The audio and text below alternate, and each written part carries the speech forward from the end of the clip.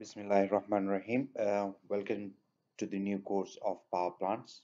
Uh, this is Dr. Muhammad Alam Zaif Khan, uh, working as an assistant professor in the Department of Mechanical Engineering, University of Engineering and Technology, Peshawar. Uh, the course is about the thermal power plants and some of its uh, accessories. Um, if we are talking about the thermal power plants uh, in this course, we would be talking about the gas power plants, uh, which is based on the Joule cycle. We'll be talking about the steam power plants uh, based on the Rankine cycle. And we will be talking about the combined cycle power plants, which would be based on the uh, combination of the Joule cycle and the Rankine cycle. Uh, as the gas power uh, plants been discussed in the previous courses as well, so in here, we will be definitely looking at the um, when looking at it, but when we are talking uh, uh, uh, in a combined cycle power plants, uh, but it's but itself we will be not actually uh, going in the details of the uh, gas power plants. while our major course will move around gas steam power plants and the combined cycle power plants if we look at the energy uh, or the energy scenario or the power plant scenario of the world um, so currently uh, if i would say like there are around 30% power plants based on coal and 30% and the same 30% around 30% uh, power plant based on petroleum products um, furnace oil and so on and so forth um, the natural gas power plants are around like 20%, uh, and the nuclear around 5%, 5, 5 to 6%, and non-hydro uh, hydro uh, is around like uh, 2 to 3%, and non-hydro renewable around, around uh, 11 to 12%. Uh, so you can imagine like um, the major chunk of the power plants are the thermal power plants. So it's around like 80% of the power plants are still the thermal power plants. Although the world is going towards the renewable resources, but still the major portion of the power plants are still the thermal power plants. Uh, coming to the Pakistan scenario, so the fossil fuel power plants, which based on the furnace oil, coal power plants, gas power plants, they are around like 68% uh, in Pakistan the nuclear share is uh, roughly um, around 8% and the hydro is around 21% while the wind is actually occupying around, uh, around 3%. That's the, the data uh, from 2018. So in this course, we would be looking at the various uh, components even, and we would be looking at the various cycles of the power plants. And the first cycle we would be discussing in our course would be the Rankine power cycle.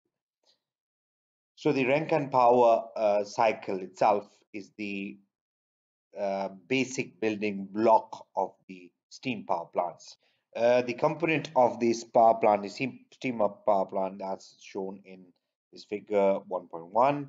Um, we would be, uh, this, this figure is itself divided in different uh, parts like uh, part areas, part A, part B, part C, part D. Um, in the first few lectures, we would be discussing uh, or focusing ourselves on the part B section, which is the Rankine cycle, which is the basic Rankine cycle. Um, in a in a, a total course, we would be definitely looking at different other components. For example, we would be discussing the boiler part as well. We would be discussing the stack part. We would be discussing the the condenser part. We would be discussing the cooling towers and so on and so forth.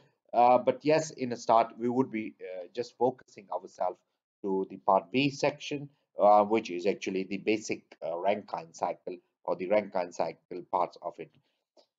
So now the ideal Rankine cycle.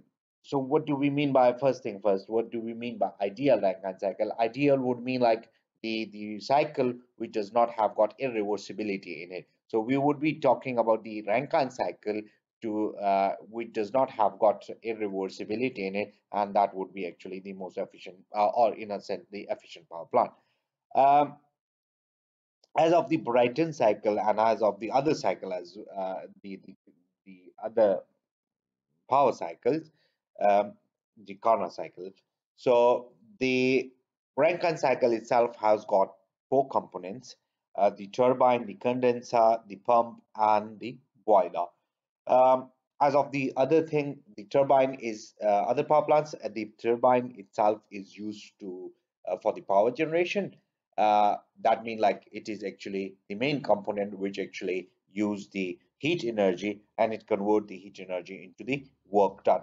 Uh, mostly the, uh, when we when I'm saying like the heat energy, it is the enthalpy of the in enthalpy energy which is actually utilized by the turbine and it is expended in a turbine uh, that is actually to produce some power output. So starting from state one, let's suppose, and, and that state one is at the inlet of the turbine. State one inlet of the turbine, let's say, and over here. So from one to two, actually, there would be expansion in a turbine. So what normally a turbine do, again, I'll say like, it is eh, it is taking the energy and that is energy in form of enthalpy and that energy is expended in a turbine to produce some work done so that means like the turbine would be utilizing the energy which is actually in energy in terms of enthalpy so the turbine work would be equal to the change in the enthalpy.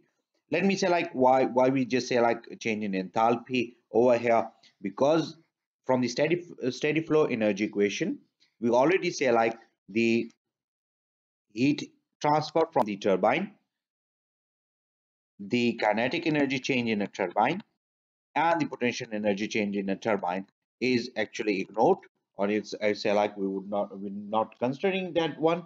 So if we are ignoring that one the only energy that would be responsible for the change uh, for for the turbine work done would be the only the change in enthalpy.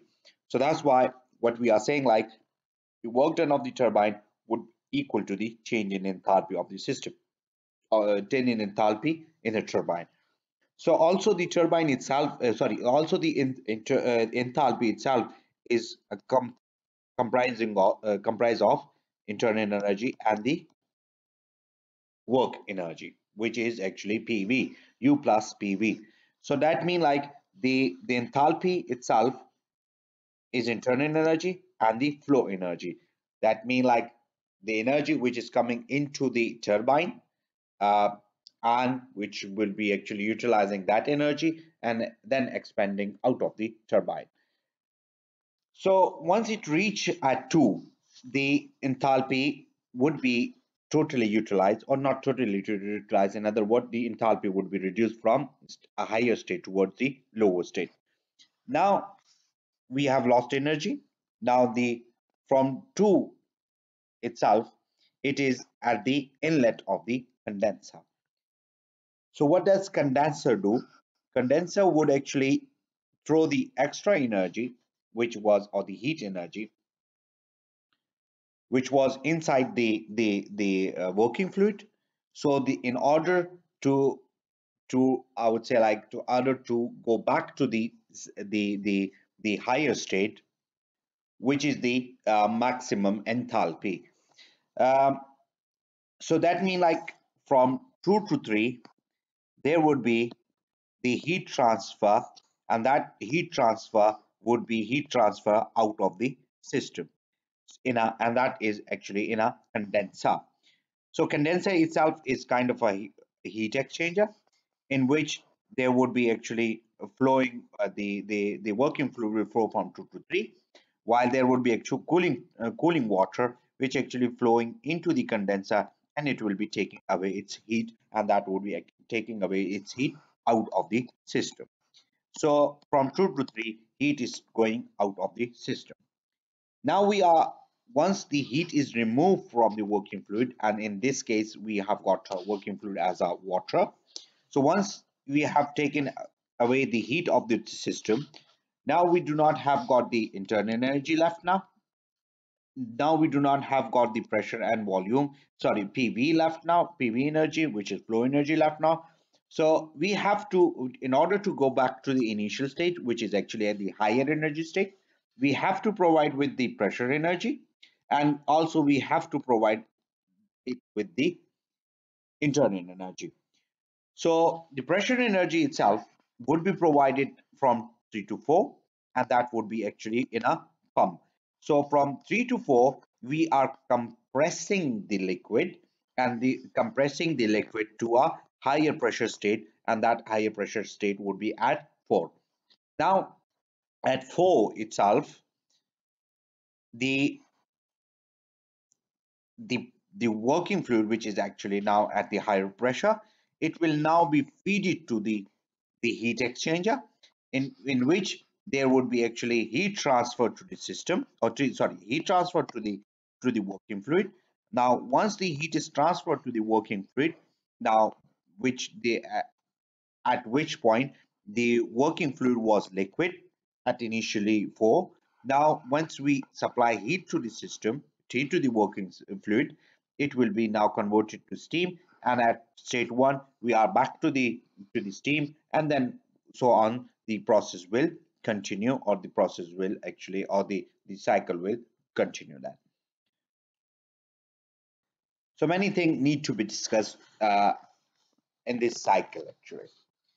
So from 1 to 2 um, as i said uh, earlier as well over here so from 1 to 2 we have got expansion in our turbine. So when I, when we are saying like expansion in a turbine so we would assume or we would we would we would say like we would want it that expansion should be isentropic expansion.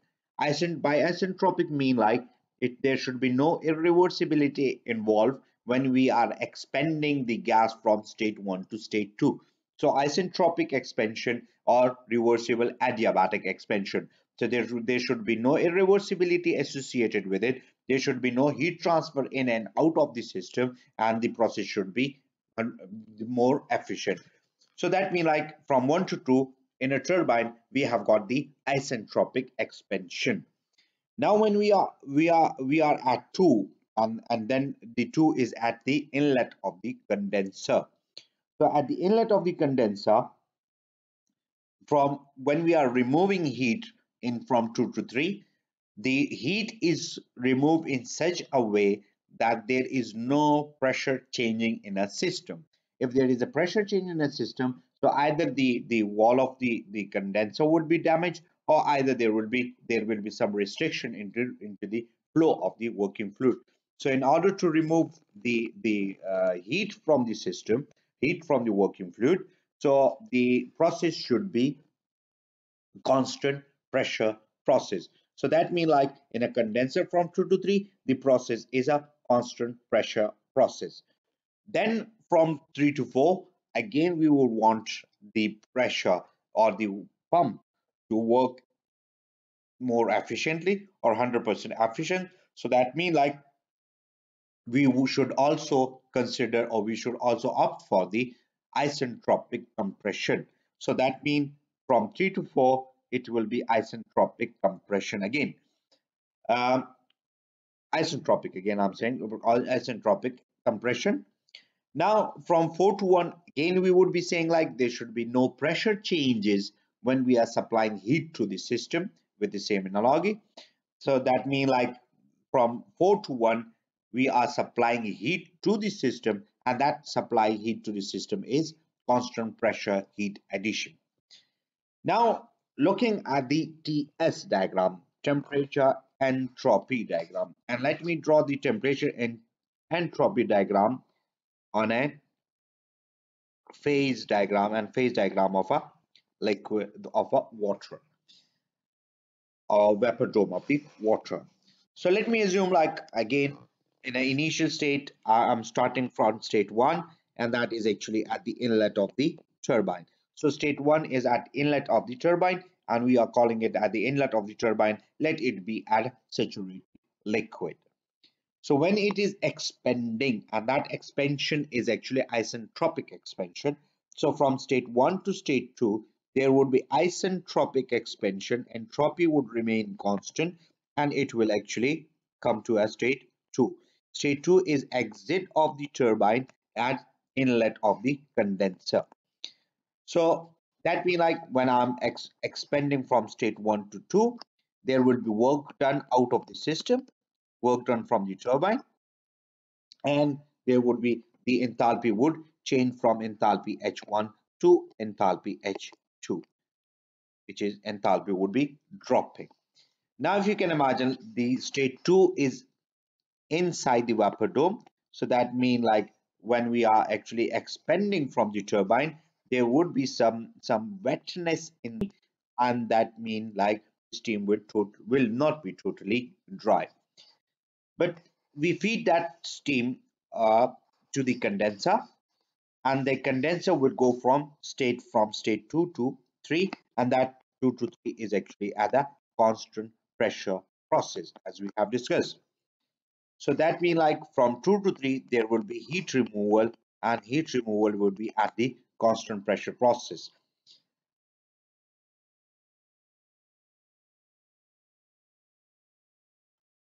As we are all also inside the vapor dome so the constant pressure process is inside the vapor dome is also constant temperature process as well. So from 2 to 3 the process will be iso isobaric and also isothermal as well so then we are at the state 3 and assuming like when we are exiting the condenser we are at saturated liquid state so at the exiting exit of the condenser and inlet of the pump, we are at state 3 and at state from state 3 to 4 we are compressing our liquid.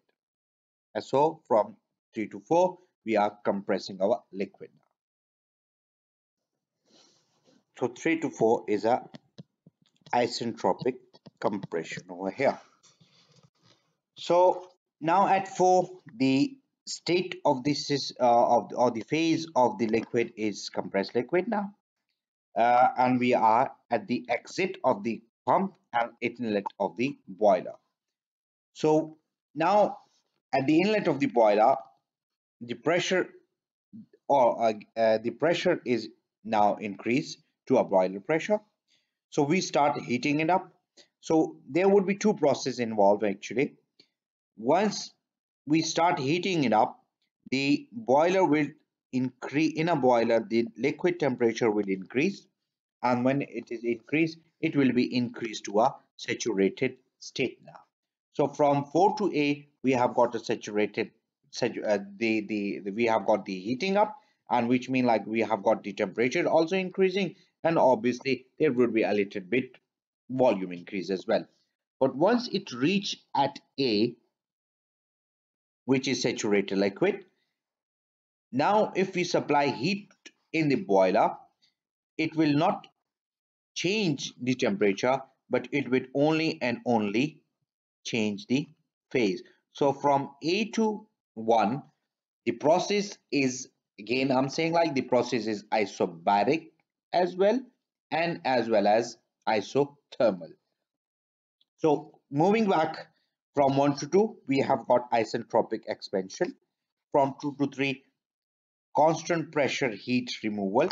From 3 to 4, isentropic compression in which we supply some work done to the pump.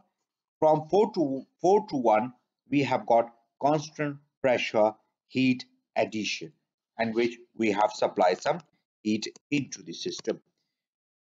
From 2 to 3, the constant pressure heat, heat removal is also isothermal heat removal as well while from 4 to 8 and from 8 to 1 it was again isobaric but also isothermal so from 4 to 1 it is isobaric process but only in inside the vapor dome from 8 to 1 it is isothermal process so summarizing it process 1 to 2 isentropic expansion of the working fluid through a turbine from a saturated vapor state to a condenser pressure, the quality would decrease from the unity. From process 2 to 3, the heat transfer from the working fluid as it flow at the constant pressure condenser with a saturated liquid at state 3. Process 3 to 4, isentropic compression in a pump to state 4 in a compressed liquid region and process 4 to 1 heat transfer to the working fluid as it flow at the constant pressure through the boiler to complete the cycle. Now comparing this cycle with the Brayton cycle, if you say like in a Brayton cycle, we have got these four same four component. That mean like we have got same same uh, turbine. Uh, that mean like we have got the same heat exchange or heat removal at a constant pressure. We have got from let's suppose from uh, same compression uh, in our compressor and also we have got the heat addition in a constant pressure process in a combustion chamber. So it seemed like we have got the same processes isentropic compression and expansion, uh, constant pressure, heat removal and addition. But the TS diagram of of the Brayton cycle does not or is not same as the TS diagram of the Rankine cycle. Is the only reason like in a Brayton cycle there is no phase transformation or there is no phase change of the gases. While in the Rankine cycle we have got the phase change from 2 to 3 and also from A to 1 so that means like the the in a Brayton cycle 2 to 3 is constant pressure only but not isothermal. But in a in a in a Rankine cycle it is both. Why in a Brayton cycle from A to 1 it is actually or from 4 to 1 it is constant pressure process.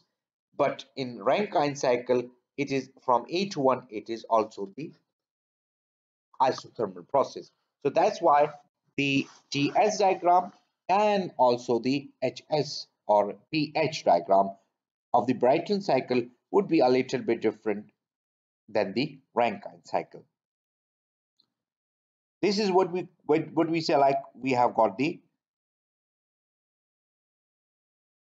ideal Rankine cycle which mean like we do not have got any uh, we do not have to account into uh, any irreversibility into it. Now looking at the or comparing itself with the Carnot cycle. If you remember from the previous fundamental courses and fundamental course of thermodynamics the Carnot cycle itself comprises of two different cycles. Isentropic expansion and compression and isothermal heat addition and removal. So if you look at look at the TS diagram of the Carnot cycle, it's more like similar to the TS diagram of the Rankine cycle, but with a difference, a little bit difference. So if I would draw line straight over here, some something like this. So now it seemed like, if, and, and I would draw, uh, I would write it like one, two, three, and four, and let it be like these uh, in a circle represent the TS diagram of the Carnot cycle. So if you can imagine like Rankine cycle, there is a little bit difference of work done in a Rankine cycle and a work done of a Carnot cycle. Uh, remember from the previous classes, area enclosed in a TS diagram is the work done of the cycle. So that means like the area enclosed by a, a Rankine cycle and area enclosed by a Carnot cycle differ by this portion. So that mean like the efficiency of the Carnot cycle is more than the efficiency of the Rankine cycle. And it is the reason that in a Rankine cycle, the heat is, or we start supplying heat at this point over here, and in a Carnot cycle, we start supplying heat at this point, which is actually at a higher temperature. And let me just give you a, a very quick example. Like if we start supplying heat at, let's suppose 20 degrees centigrade, and we start supplying heat at, let's suppose 80 degrees centigrade. So obviously the heat required to raise the uh, or the heat required for water to boil from 20 degrees centigrade would be greater while the heat required uh, to boil a water from 80 80 degrees centigrade would be less so obviously it's the same reason like if we if we start heat supplying at this point which is actually at 4 of the the, the Rankine cycle and if we supply heat at this point so obviously the the energy which we would be required at this point of the Rankine cycle is much higher by the energy required at this point. So that's why the the heats the the Carnot cycle have got much efficiency than the Rankine cycle. And another word, and we would be discussing it later on, that the average temperature at which the heat is supplied at the Carnot cycle is higher than the average temperature at which the heat is supplied at the Rankine cycle. Uh, let me show it over here. So if I'm saying like the average temperature, so the average temperature of the Carnot cycle would be the, the average between them two temperature and it will definitely in between them. But if I'm looking at the average temperature of the Rankine cycle, so that will be the temperature average on this temperature, the this temperature and this temperature. So obviously if I'm taking average of these three, so it will be less than the Carnot cycle. So that means like the average temperature at which the heat is supplied in a Carnot cycle is higher than the average temperature at which the heat is supplied in a Rankine cycle. So that's why the efficiency of the Carnot cycle is much better than the efficiency of the Rankine cycle. And then obviously we will be looking at or discussing the same phenomena in a superheat cycle and a reheat cycle. But before we actually go to the the the enhancement of the uh, Rankine cycle, let's discuss the performance itself of the Rankine cycle. So by performance, we mean like what would be the thermal efficiency of the power plant, what would be the power output of the power plants, and what would be the heat input of the power plant. So the, the performance parameter, so we have got a performance parameter of the thermal efficiency, we have got a performance parameter of the, the, the work output, and we have performance parameter of the heat input. And there is another one we would call it as the heat rate and obviously we'll be discussing it later on. So the thermal efficiency obviously gauge the extent of which energy input to the working fluid is passing through a boiler and it is converted to the work done? So in terms of efficiency we would be looking at the work output divided by the heat input. So the work output is actually in a turbine but obviously there is actually an input of the work done in the pump as well. So we would be actually subtracting that from this one. So the turbine work minus pump work divided by the heat in would be the thermal efficiency. And in terms of enthalpy, as discussed earlier, so in terms of enthalpy, it would be H1 minus H2 minus H4 minus H3 divided by H1 minus H4. And you, just look at these one, these, uh, so that would be H1 minus H2 and that would be actually uh, the expansion in a uh, in a um, turbine H4 minus H3 would be the pump work and obviously the heat supply from 4 to 1. Now the uh, the net work, work output in terms of heat is Q in minus Q out divided by Q in. So obviously this this thermal efficiency should be equal to this thermal efficiency as obviously it's the same thing anyway. So as discussed earlier, the heat rate uh, is also one of the performance parameters. So heat rate is the amount of energy that is added by the heat transfer to the cycle, normally in BTU, to produce the unit network, usually in kilowatt hour. So accordingly, the heat rate, which is inversely proportional to thermal efficiency, uh, has a unit of BTU per kilowatt. So in other words, the less heat rate would mean like the most thermal efficiency.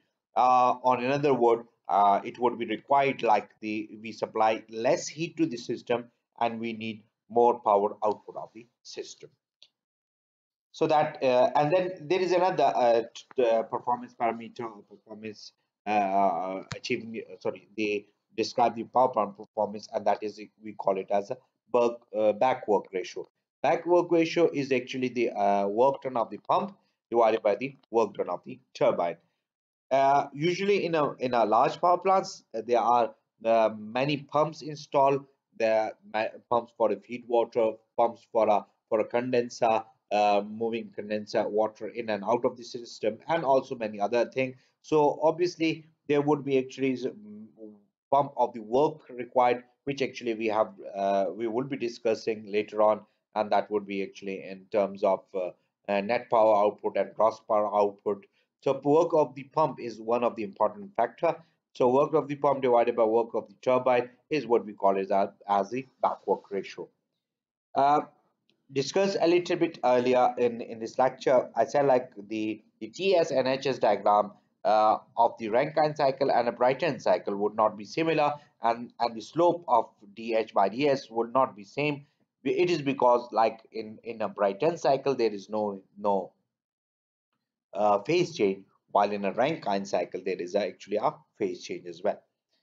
Uh, we have not actually uh, considered the irreversibility. Uh, you can check like what would be the irreversibility when there is irreversibility in in a, in a, in a process or in a system.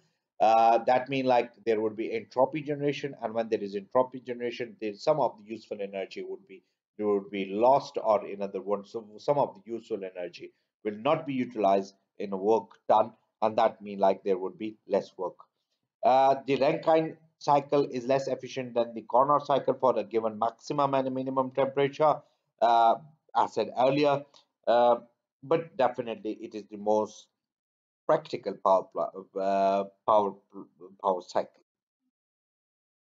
Now moving to the uh, enhancement and effect of the design parameter on the Rankine cycle.